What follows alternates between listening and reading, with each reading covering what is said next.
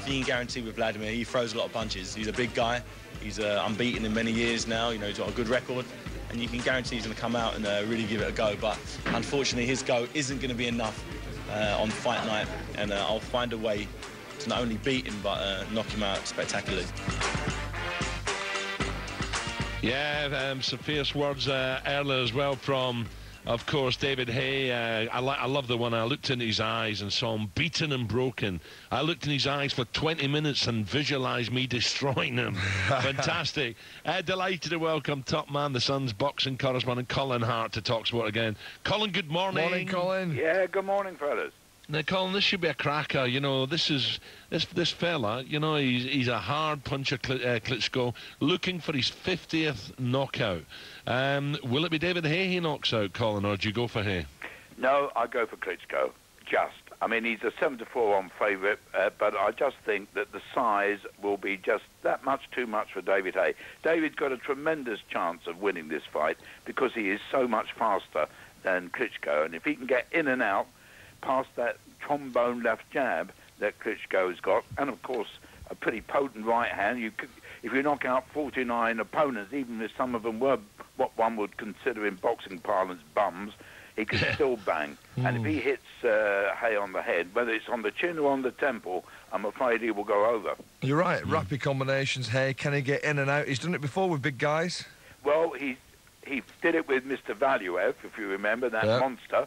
They Uh, don't come any Russia. bigger. But Valuev is a very, very ordinary fighter, fighter and uh, Klitschko is uh, five times better than Valuev. Yeah, slow, wasn't he, Valuev? But Klitschko, you know, okay, he's not got the rapid combinations like Haye has, but um, yeah, he's certainly quicker in that aspect, Colin, isn't he? Yeah, absolutely, and uh, that's speed would if if Clay if uh, Haye's go to win, speed will do it for him. I know he can bang a bit as well as we know.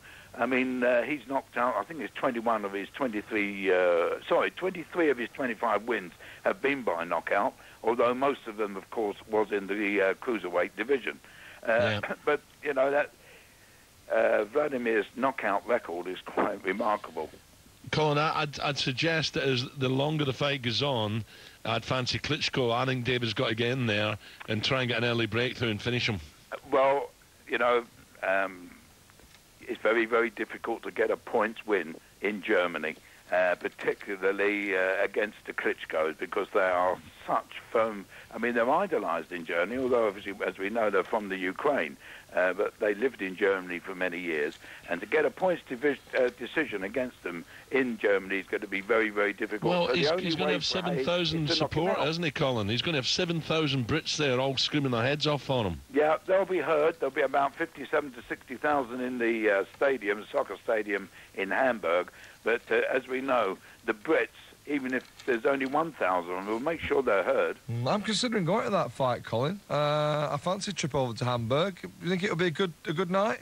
It'll be a fantastic, a fantastic stadium, although I haven't seen it. I've only seen the pictures of it. Yeah. But it, it was built for the uh, World Cup in Germany, uh, was, was it, five, Yep. six, five years ago. so it's a beautiful stadium, and the atmosphere will be tremendous. Um, and let's also uh, rejoice. This is the first serious, meaningful World Heavyweight Unification. Championship for nearly 10 years since Lennox Lewis and Mike Tyson fought in Memphis, Tennessee. Talking of Colin, time, just a qu- Colin, just a quickie. Talking football stadiums, West Ham go to Wigan Sunday.